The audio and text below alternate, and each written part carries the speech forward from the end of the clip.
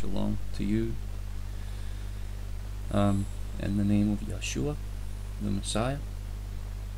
I just want to make this a quick video to show you the differences between the teachings about the false Messiah.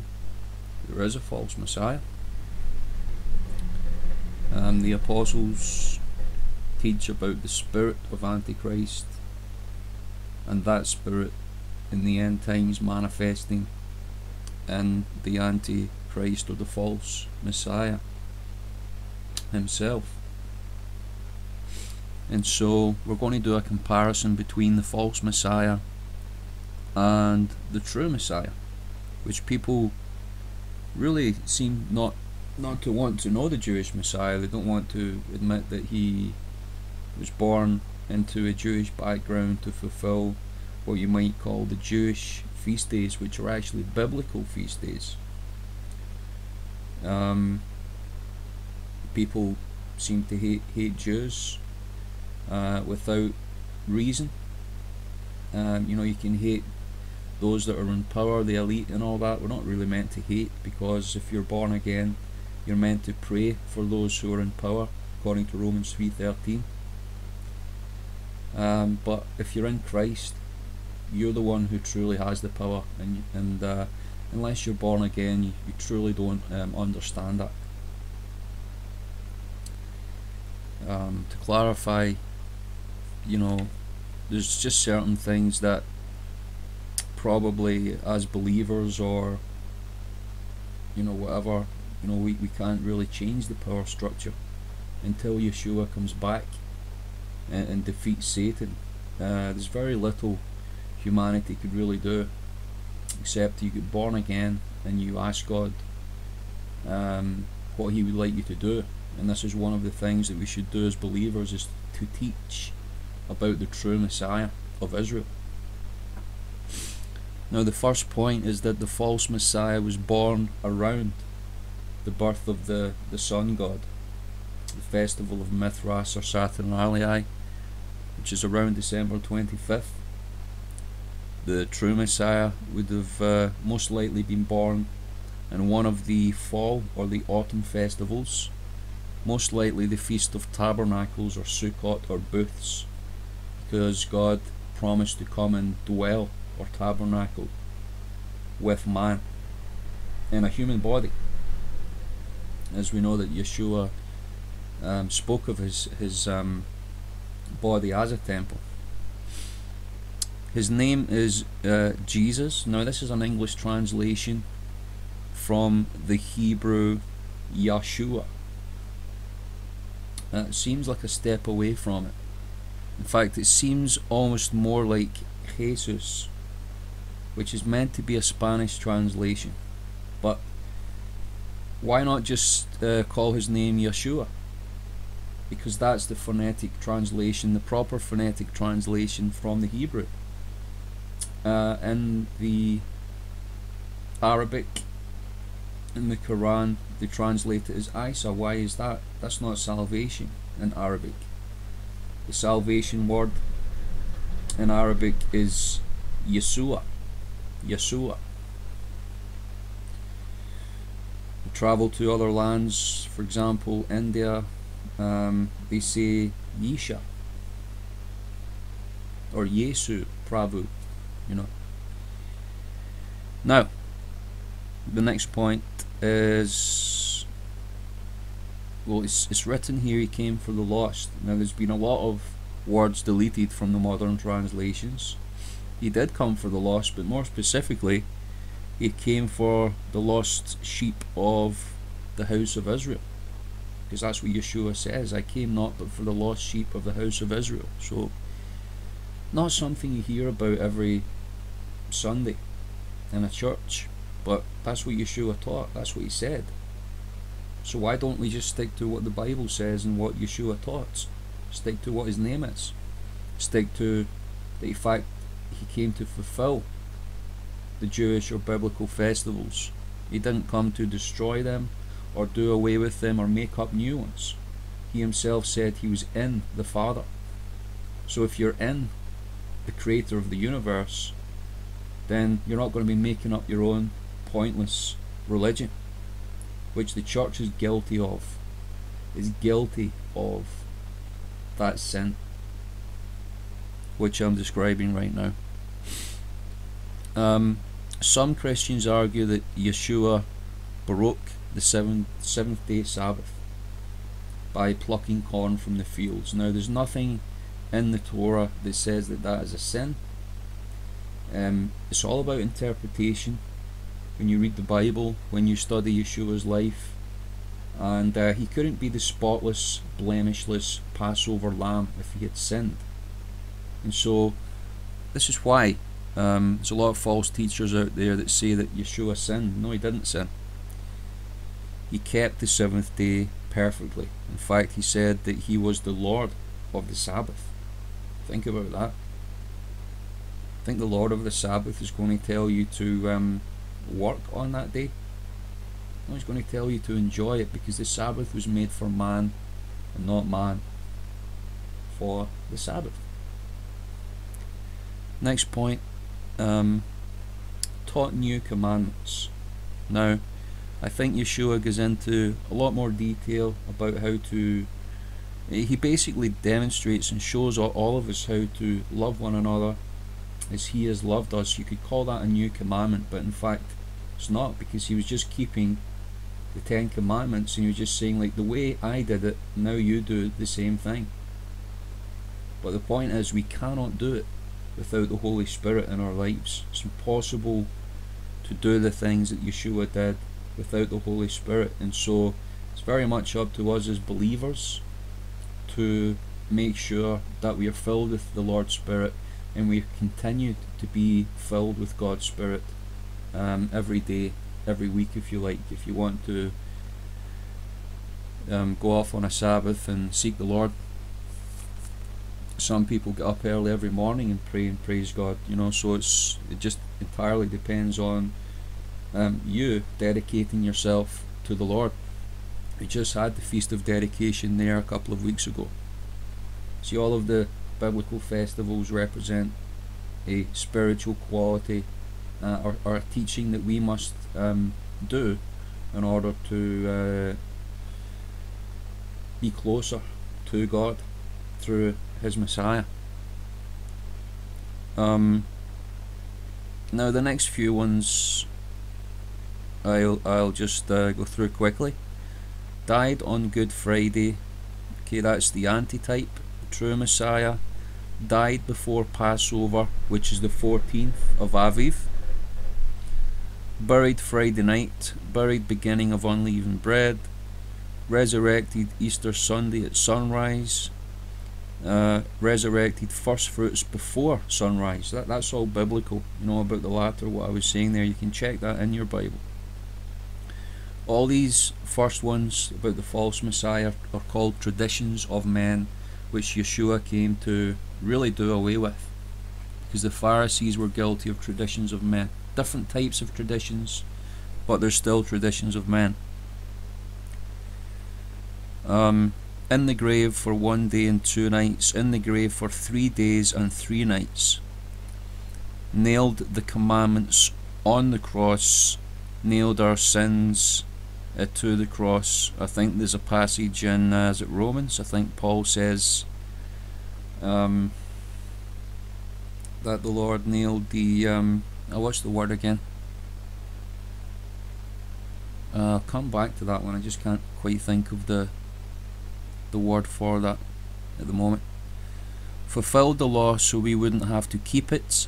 Fulfilled the law on his coming as prophesied, you know, so that we could um, be forgiven through his blood and that uh, through faith, Romans 3.31, we can, we can learn to keep his commandments. Replaced Israel with the church, replaced nothing, including Israel taught against the law of Moses, taught the law of Moses is about him. Right? Taught against the law of Moses, which the church does, and then the true Messiah basically says to the Pharisees, you know, the law of Moses is speaking about me. It's a big difference there. Um, if you can't see these differences, please let me know. Please leave your comments below. I'll try and pray for you or give you a few Bible verses or whatever it may be to try and aid your understanding.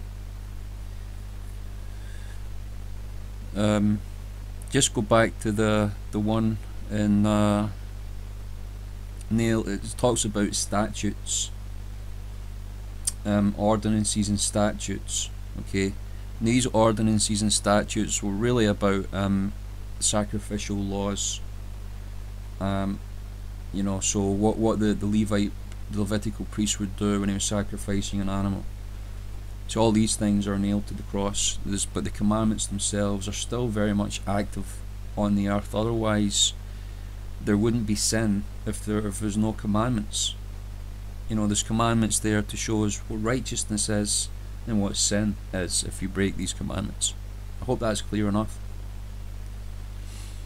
Um, okay, the next one opposed the law in the Torah opposed man-made laws, not the Torah. So we have touched on that. Um, choose Gentiles and reject Israel, graft Gentiles into Israel.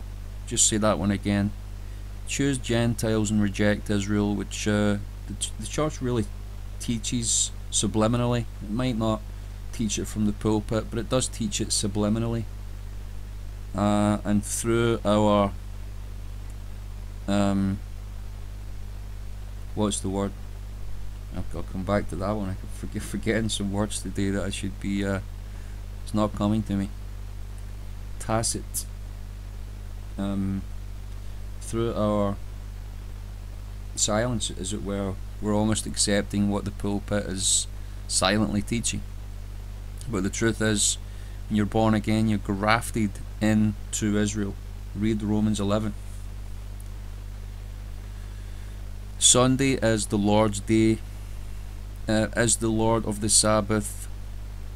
Yeah, Yeshua, is the Lord of the Sabbath. So I, they've changed the day. You can read about Hebrews 4 about that Yeshua didn't come to change the Sabbath day. it's ridiculous, isn't it? Well, some people say that there's no Sabbath. Other people say, well, he just came to change the day. No, no, no, no. It was the church that changed the day, and then, you know, if you can't work that one out. No, uh, no one know when he will come back. He will return at an appointed time. So it'd be like a festival of Israel.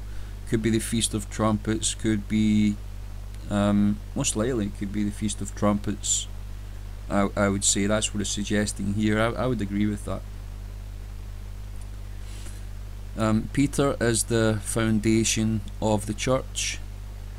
Peter's confession is the foundation of the church. So, so when Yeshua changes uh, his name, uh, Simon Peter, he was referred to. I think his, his main name was Simon, but you know Yeshua gave him a new name called Peter, which means rock.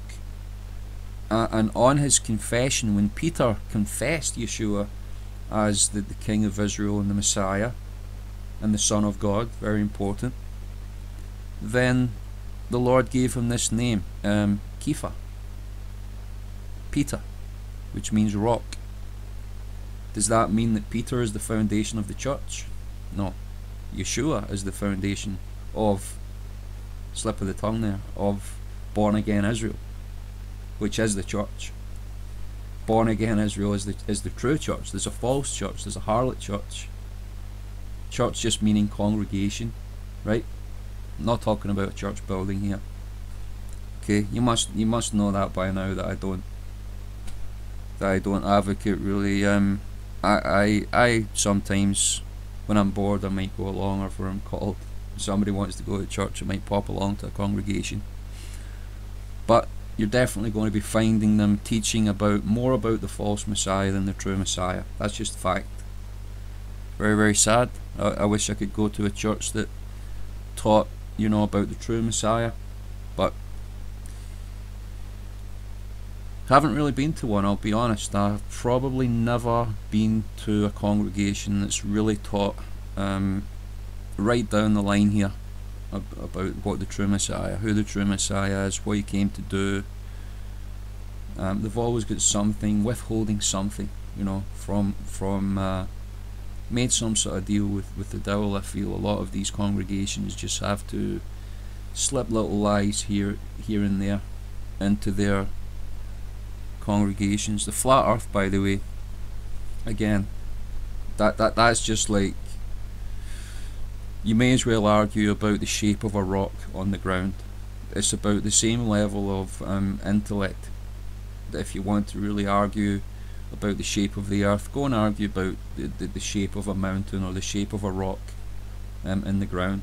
It's just it's just absolutely very dumb, but people want to do that in the last days because they think that it's important, and that their little minds think that that's uh, that, that they're actually doing God a service doing that. no one knows when he comes back. He will return at an appointed time. Peter is the foundation of the church. Peter's confession is the foundation of the church. Wants you to pray the sinner's prayer, which you can do. You know, basically through hearing the gospel, you, you, you understand you're a sinner. You, you come under conviction and you want salvation. And, and then you ask salvation, who is Yeshua, into your life. But the most important thing is that when you commit yourself to the Lord or dedicate yourself to the Lord in that way, you should become a disciple. You become then the Lord's disciple. That's the start of your discipleship, not the end, not the finished article, not not like uh, oh I just said this prayer and I'm going to heaven. That's just the start of your discipleship, just as as it was Peter's, the start of Peter's discipleship, when he said the sinner's prayer. We didn't really say the sinner's prayer. He just confessed, Yeshua, you are the King of Israel, the Son of God, and you're you're the Savior of the whole world. You know, and, and, and Yeshua said, Flesh and blood did not um, reveal that to you, but my Father in heaven. Right? It's like it's one of the biggest things you can do when you get a revelation of who Yeshua is that's really the start of your discipleship. And then the Lord deals with your sin when you realize what He did for you on the cross, and um, you, you you just ask Him to come and cleanse you. You ask the the Holy Spirit, and you know, and start your relationship with Him. It's different for us all, you know. But the the, the, the rock of our salvation is Yeshua. Uh, the false Messiah wants you to live your best life now. your best life now. What Yeshua came to do. He came to make all the communism. He came to make all the, the rich very poor. Right, like communism.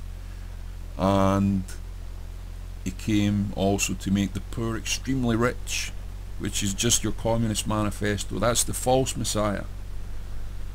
But the true Messiah wants you to live a holy life. That's that's the most important thing. He wants you to live a holy life. Are you doing that?